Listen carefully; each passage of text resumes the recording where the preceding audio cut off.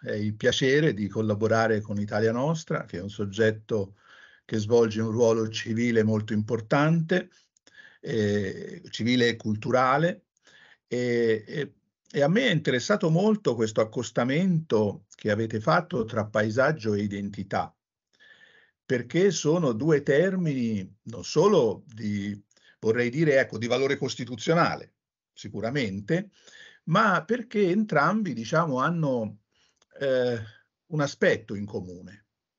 Non sono dei dati, né il paesaggio è un dato, né l'identità è un dato, ma sono dei processi.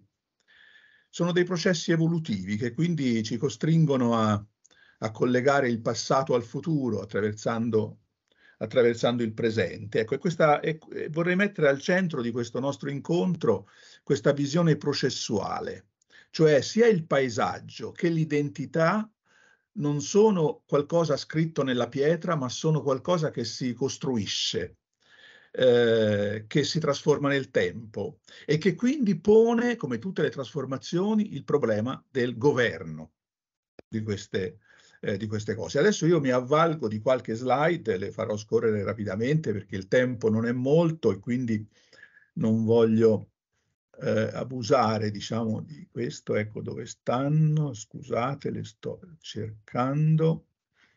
Eh, eccolo qua. Eccolo qua, spero che si veda bene. Adesso metto anche la presentazione, no? Paesaggio, territorio, ambiente, identità.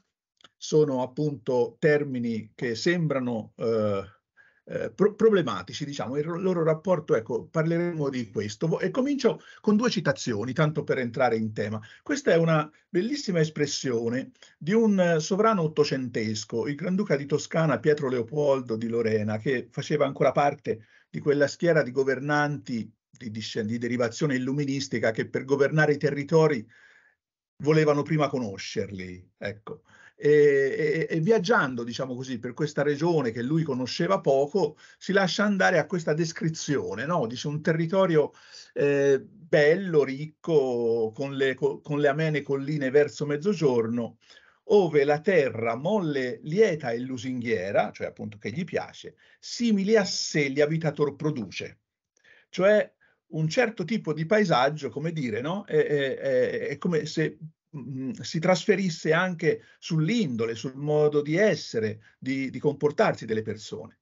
Facciamo un salto, diciamo così. Questo è più noto, eh, Benedetto Croce, uno dei più grandi filosofi del Novecento italiano, che eh, è stato anche eh, da politico nei primi anni nei primissimi anni venti, prima della, della parentesi della, del ventennio fascista, eh, un il, promotore della prima legge per la tutela del paesaggio e delle bellezze, si chiamava appunto per la tutela delle bellezze naturali e degli immobili di particolare interesse storico. Siamo proprio alle origini della legislazione che poi sfocerà nella, nelle leggi del, 30, del 1939, poi nella Costituzione italiana e poi nel codice dei beni culturali e del paesaggio. Diceva lui il paesaggio perché, perché era la prima volta che lo Stato interveniva su questo tema, no? Allora dice perché aveva la necessità di spiegarlo e nella relazione che lui fa al Senato di questa nuova legge dice sì, ha senso l'intervento dello Stato, anzi è legittimo, è doveroso perché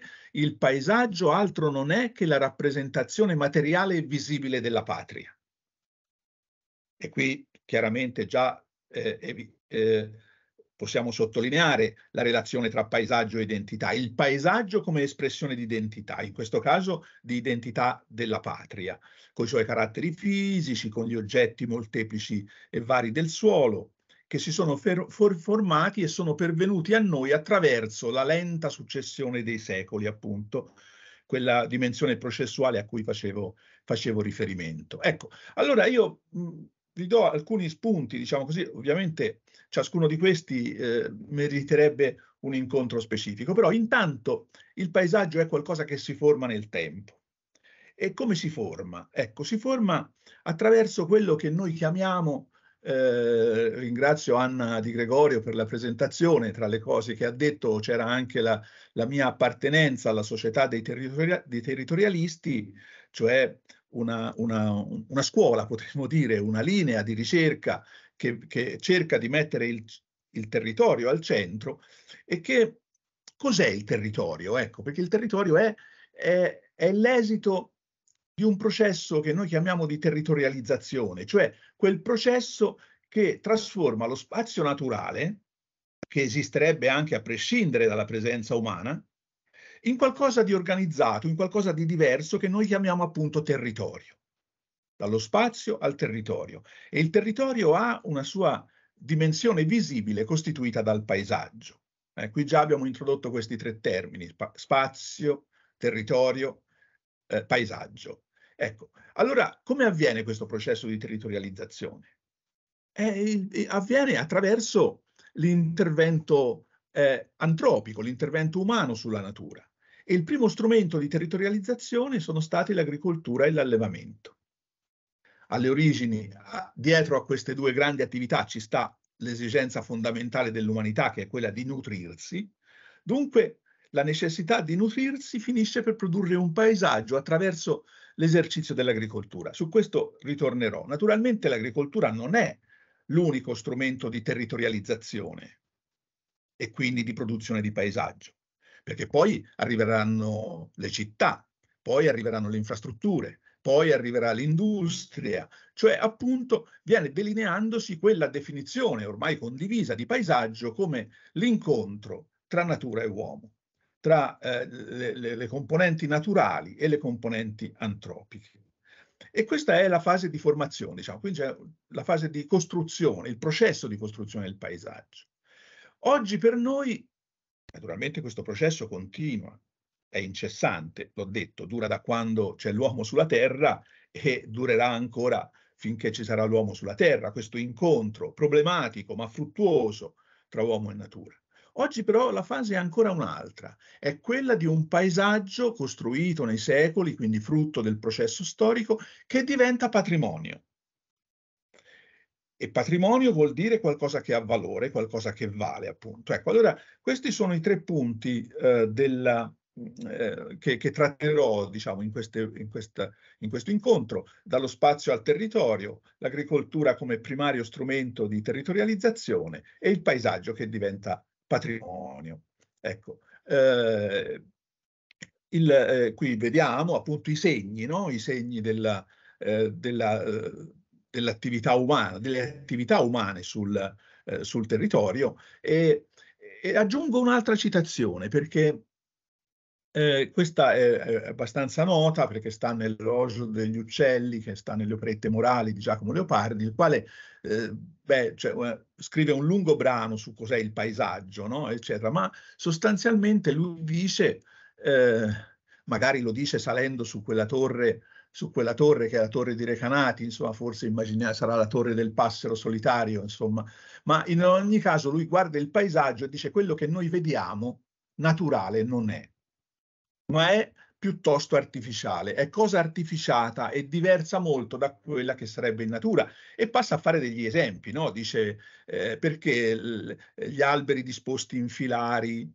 i campi che hanno forme geometriche, ecco queste non le ha fatte, le, i, fiumi, i corsi d'acqua eh, raddrizzati nel loro corso, gli argini, ecco come si vede quindi eh, c'è questo incrocio tra uomo, eh, tra uomo e natura che è molto... Allora, eh, arriviamo alle definizioni di oggi. Ecco, non insisto sulle definizioni perché il paesaggio si dice che è una parola polisemica, cioè che ha molti significati, quindi molte definizioni e non è il caso. Vedete però, facciamo riferimento però alla, come si può dire, al, al, al documento normativo fondamentale eh, nel quale ci riconosciamo per il paesaggio, che è la Convenzione Europea del Paesaggio, eh, sottoscritta nel 2000, poi ratificata dall'Italia qualche anno più tardi, e dice il paesaggio è una determinata parte di territorio così come percepita dalle popolazioni.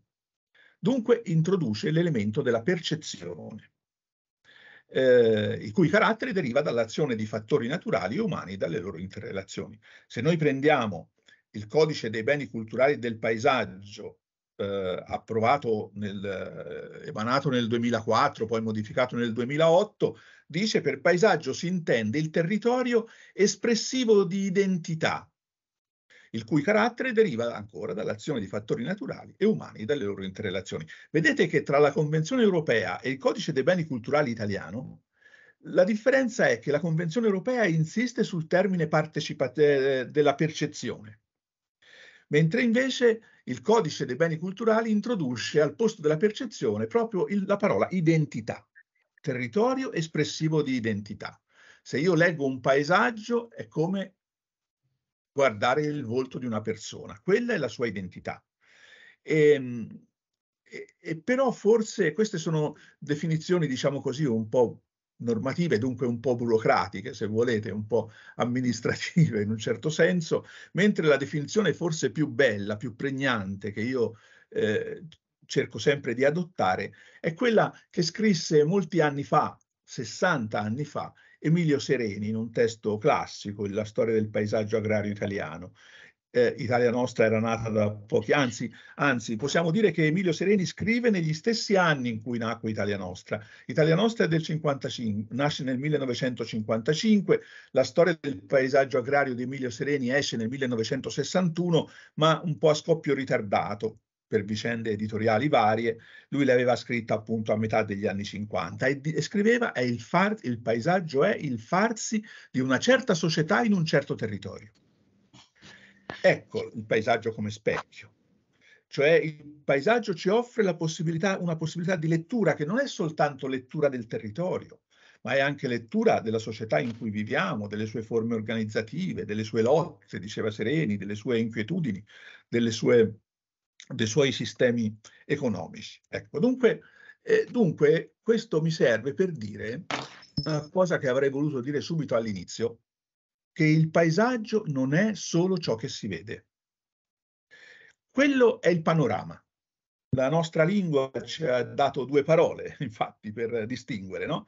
Il panorama è, come dire, la veduta, la cartolina, eh, è, la, è la dimensione estetica del paesaggio. Paesaggio invece è qualcosa di più, è l'insieme delle relazioni e delle funzioni che quel territorio svol- eh, esprime ha, ha, ha avuto, diciamo così. No?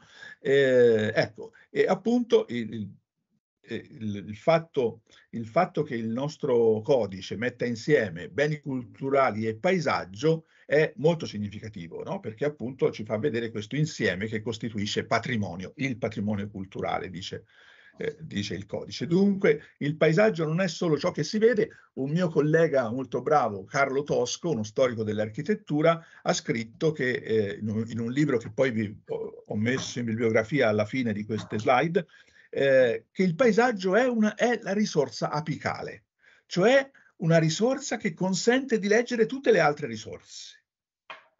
Dunque, se io eh, leggo il paesaggio di un territorio non mi parla soltanto di cos'è quel territorio in quel momento. Mi parla anche delle trasformazioni storiche che quel territorio ha subito per arrivare fin lì e a guardarlo bene mi parla anche delle potenzialità e delle prospettive di quel territorio. Ecco perché, ecco la visione processuale, no? ecco perché studiare il paesaggio ha un senso, ha un valore civico, ha un valore culturale, ma anche un valore politico alla fine, perché mi consente appunto di proiettare in avanti questa, questa visione di, del, eh, del, del paesaggio come processo. Emilio Sereni diceva una prassi di generazioni, cioè appunto che lui pensava prima di tutto alle, alle generazioni degli agricoltori. Eh? Vedete che si trattasse degli agricoltori primitivi con una zappa in mano o degli agricoltori moderni con le macchine eh, e, e, e, gli alti consumi energetici, in ogni caso l'agricoltura per produrre cibo finisce per produrre paesaggio. E, ehm, e questo è come se, insomma, per, per, per, renderla figurata questa cosa, è come se gli agricoltori eh, nei vari tempi con le loro zappe, le loro falci, i loro aratri, poi le loro macchine, le loro vanghe, eccetera, avessero disegnato sul territorio un paesaggio, avessero tracciato dei segni, proprio come se fosse un album da disegno, appunto, eh, spesso indelebili eh, e comunque anch'essi poi suscettibili di trasformazioni. A monte c'è appunto eh, che cosa? C'è l'esigenza alimentare dell'umanità. dell'uomo, delle, delle, popolazioni, insomma. Infatti, didatticamente funziona molto bene questa slide, se volete usatela pure, eh, perché funziona molto. Cioè, partire, partire dal, da ciò che si mangia per arrivare al paesaggio. Che paesaggio hai nel piatto? Cioè, che consapevolezza abbiamo noi, che consapevolezza hanno i nostri ragazzi soprattutto, eh, di immaginare il paesaggio corrispondente a quello che stanno mangiando in quel momento. Cioè se io mangio pane e olio, per, dire, per fare riferimento al prima, alla prima immagine, che capacità ho di immaginare nella mia testa un oliveto, un campo di grano, eh? o, e, e, così via, se la carne è un pascolo, una stalla, se il vino, una via, eccetera. Ecco, guarda, questo nella, nella, civiltà urbana, consumistica di oggi, questo legame si è spezzato molto, eh? si è spezzato molto e quindi ricostruire questo, partire dal cibo è un modo per dare concretezza anche ai nostri, ai nostri ragionamenti sul paesaggio che altrimenti potrebbero sembrare temi, diciamo così, da esperti, da specialisti, da convegni. Ecco, invece c'è il cibo, poi c'è il modo di riproduzione del cibo e poi c'è il, eh, il, il, paesaggio appunto che, che, si forma in questo modo. Si forma, si forma eh, trasformando gli elementi ambientali fondamentali che sono la vegetazione, che sono le acque, che è il suolo. No? In questa immagine ho, fatto, ho messo questi tre, questi tre, cerchi con le stesse dimensioni, ma evidentemente eh, le dimensioni sono variabili. E, è, e, e cos'è che li fa variare molto? È l'entità della popolazione umana. Quando, questo vale sia per il mondo, ma vale anche per un singolo paese, per una regione. È evidente che quando la, la, la popolazione cresce l'area coltivata tende nella storia ad allargarsi e, e, siccome la terra è finita si restringono le altre due, cioè la superficie si allarga disboscando e bonificando gli specchi, specchi d'acqua. Eh, adesso oggi siamo in una situazione un po' diversa e un po' paradossale rispetto al corso storico, perché siamo in una fase in cui la popolazione sta crescendo a livello planetario e la superficie coltivata si sta restringendo. E questo è avvenuto anche in Italia, ma su, su questo non voglio eh, insistere troppo. Ecco, allora ci sono i quadri ambientali che sono importanti. Eh? Io ho parlato finora dell'intervento dell'uomo, ma la natura è anch'essa soggetto storico, non è soltanto il contenitore inerte delle nostre azioni. E quelli italiani sono quadri ambientali molto differenti tra di loro, quadri ambientali differenti che eh, significano una agricoltura differente e quindi noi non abbiamo un paesaggio italiano, ma tanti paesaggi. Il paesaggio conferma la natura plurale di questo nostro eh, di questo nostro paese. Ecco, vado abbastanza, ecco, questa è, naturalmente la trasformazione storica ha molto modificato i paesaggi, eh? siamo passati da un'agricoltura ad alta intensità di lavoro ad un'agricoltura invece a bassa densità di lavoro che ovviamente eh, produce impatti diversi sul, sull'ambiente e dunque anche un paesaggio, un paesaggio differente. Eh, tra l'altro l'Italia eh, in, in, Italia si evidenzia bene questa diversità, per esempio, tra il nord e il sud, tra il processo storico che ha caratterizzato l'intervento umano nel mezzogiorno e quello invece del centro-nord, dove la presenza delle città, la vicinanza del potere hanno determinato un certo paesaggio, e invece quello del sud, dove eh, la persistenza del latifondo e soprattutto della feudalità che è arrivata fino quasi ai giorni,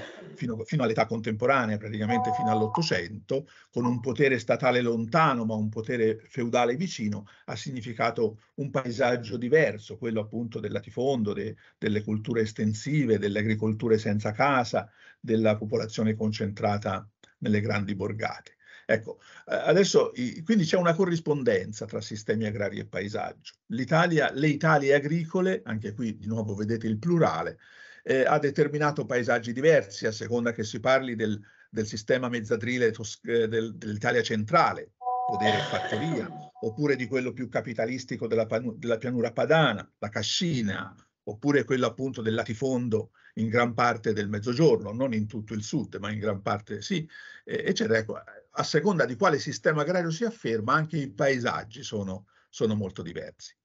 lo riscontriamo anche nella tipologia delle case contadine. Vedete questa qui, guardate solo la, la varietà di colori in questa carta dell'Italia, eh, che sta a significare una molteplicità di tipologie eh, abitative. Anche le case sono segni paesaggistici. Eh, non solo i campi coltivati, ma anche le case. Poi se si fanno le case bisogna fare delle strade per arrivarci e poi magari lungo quelle strade si piantano dei filari di alberi. Tutti questi sono segni paesaggistici.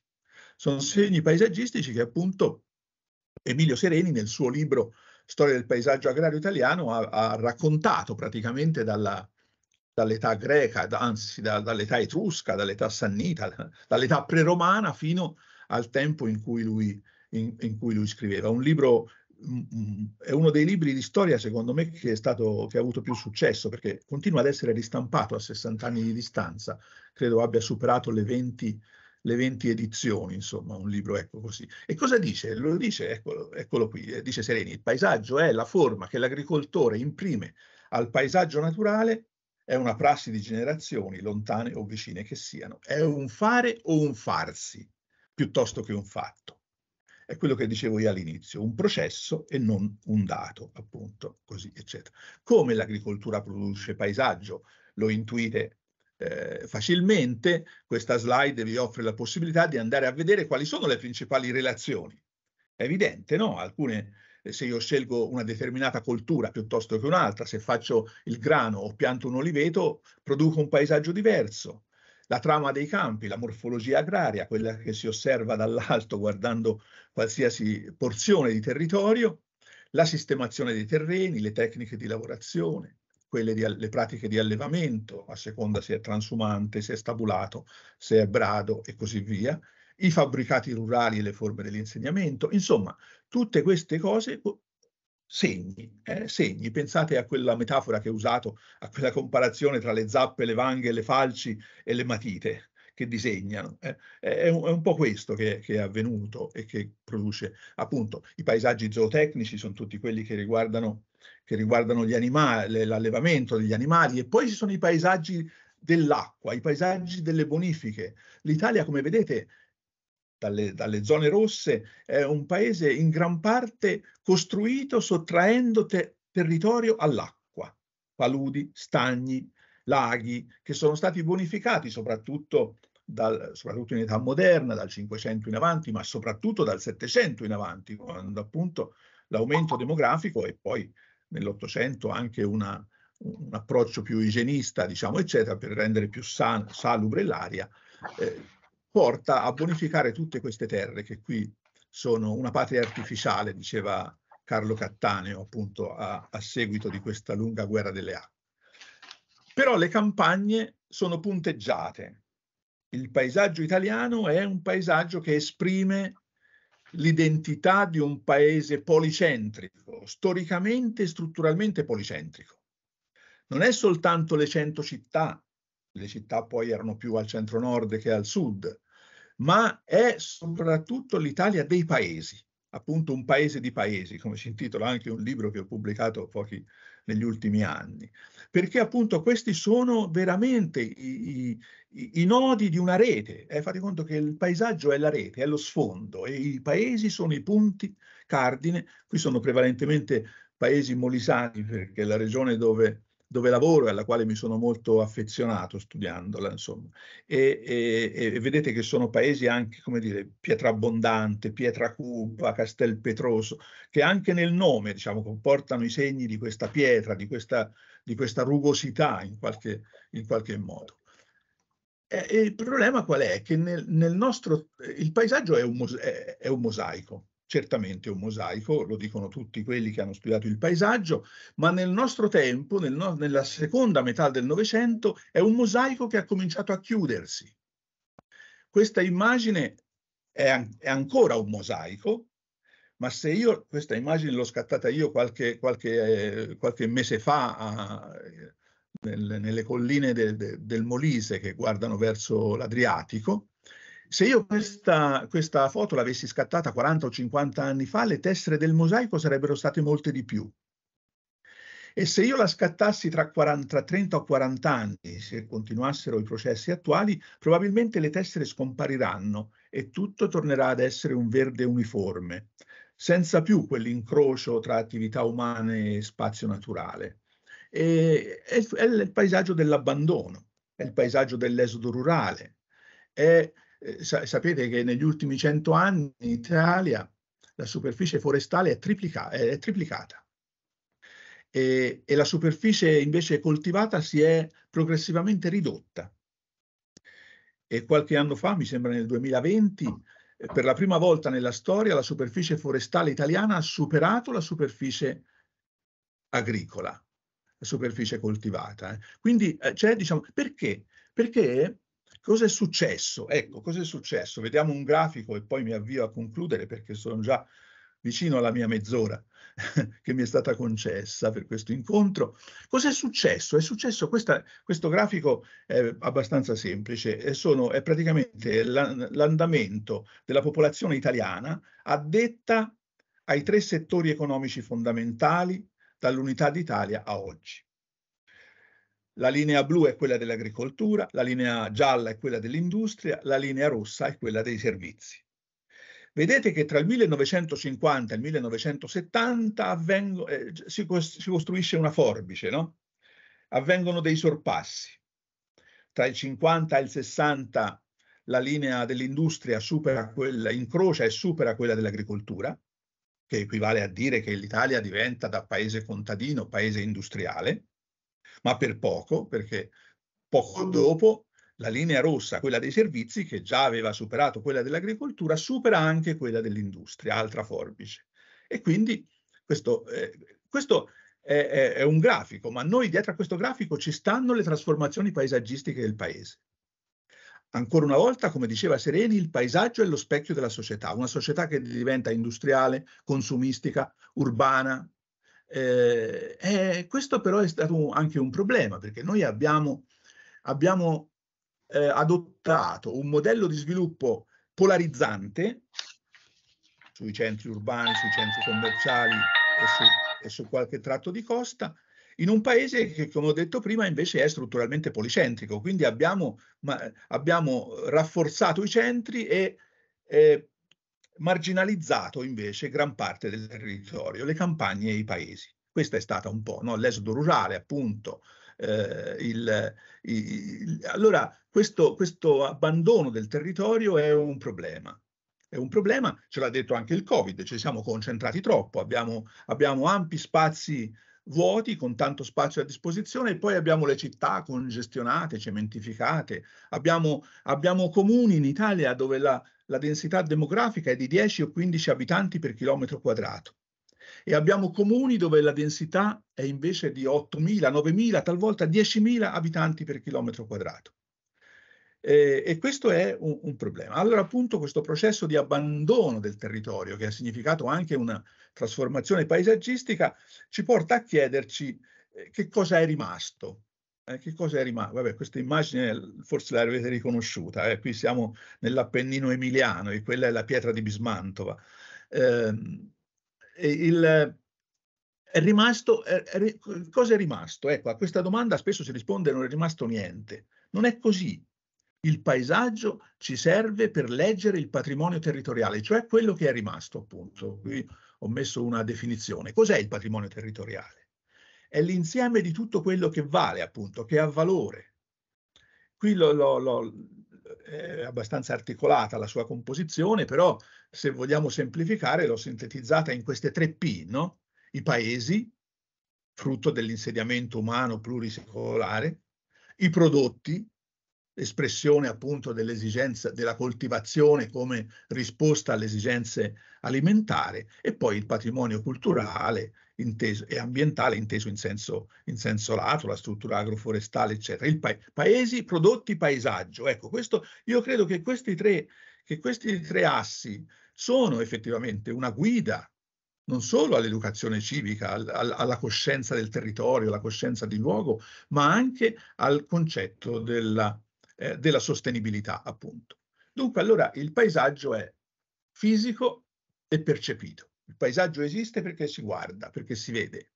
Eh, d'altra parte, ho detto che eh, questo tema della percezione è, è, è inserito nella Convenzione europea del paesaggio, però vedete che uno studioso come Aldo Sestini, geografo che scrive quel bel libro sul paesaggio italiano nel 1963, dice l'immagine da noi percepita di un tratto di superficie terrestre. Dunque il tema della percezione non è che l'abbiamo inventato con la Convenzione europea del paesaggio.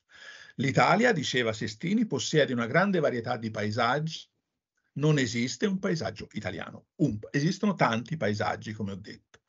Sereni diceva così, eh, eh, che questo, questo legame tra, tra, società, paesaggio e patrimonio, e patrimonio culturale, fino eh, all'articolo, eh, ecco, appunto, fino alla, alla, alla, patrimonializzazione, cioè al riconoscimento eh, del paesaggio come qualcosa che ha valore e che quindi deve essere al tempo stesso conosciuto, tutelato valorizzato. Guardate bene alla successione di queste tre parole, eh?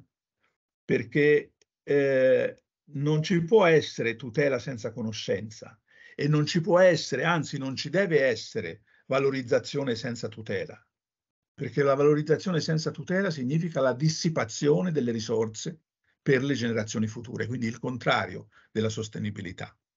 Cioè voglio dire, faccio un esempio banale, se io ho un bel paesaggio e ci costruisco delle belle villette a schiera, certamente nell'immediato valorizzo, però quella risorsa poi io non ce l'ho più e quindi ho valorizzato senza tutelare, vuol dire che ho dissipato una risorsa. La tutela e la valorizzazione del paesaggio salvaguardano, dice il codice, i valori che esso esprime come manifestazioni identitarie percepibili. Qui torna insieme l'identità e la percezione, perché l'identità non è solo ciò che siamo, è anche come qualcuno ci vede, insomma, e quindi eh, eh, manifestazioni identitarie percepibili, appunto è l'articolo 131 che definisce il paesaggio nel codice dei beni culturali. Eh, e quindi il paesaggio da semplice rappresentazione dell'estetica, come magari era ai tempi di Croce, appunto non parlava di paesaggio ma di bellezze naturali, diviene un bene, un patrimonio, un be cioè un bene da tutelare, un deposito di identità uno specchio, come avrebbe detto Sereni, delle trasformazioni e delle potenzialità del territorio. Ecco, l'approdo è, il riferimento fondamentale è l'articolo 9 della Costituzione. E con questo chiudo, però è molto importante che, che i nostri costituenti abbiano messo tra i, non in un articolo qualsiasi, ma tra i principi fondamentali, i, i primi 12 articoli dell'articolo 9, tra i primi 12, appunto, l'articolo 9 che nel quale si dice la Repubblica promuove lo sviluppo della cultura, eccetera, tutela il paesaggio e il patrimonio storico e artistico della nazione. Adesso, nel 2022, diciamo nel silenzio generale, per la prima volta nella storia della Costituzione italiana è stato modificato un articolo del, della, de, dei principi fondamentali, proprio l'articolo 9 è stato modificato eh, inserendo, come vedete nella parte sotto, inserendo oltre alla tutela del paesaggio, la tutela dell'ambiente, della biodiversità, degli ecosistemi eh, e, la, e, e, anche un accenno, diciamo così, alla tutela degli, degli animali. Eh, eh, tutto bene sembra, no? Dice, vabbè, non se ne è discusso, è passato nel silenzio, tutto, il Parlamento l'ha votato all'unanimità, quindi che problema c'è? E i problemi invece stanno emergendo, perché questo, questa modifica sta mettendo l'ambiente contro il paesaggio, che invece dovrebbero essere integrati. Sta mettendo l'ambiente contro il paesaggio, faccio un riferimento en passant, poi se volete ci torniamo, a tutto il tema della, del, delle energie, delle energie rinnovabili, per esempio degli impianti fotovoltaici, degli impianti eolici, che soprattutto nel centro-sud eh, dell'Italia stanno fortemente incidendo sul, eh, sul paesaggio. Dunque questa modifica recente è una modifica problematica, però eh, noi abbiamo, diciamo così, una Costituzione che eh, ci obbliga a tutelare il paesaggio e il patrimonio storico e artistico della nazione. A me pare eh, che ciò non sia sempre avvenuto. Grazie.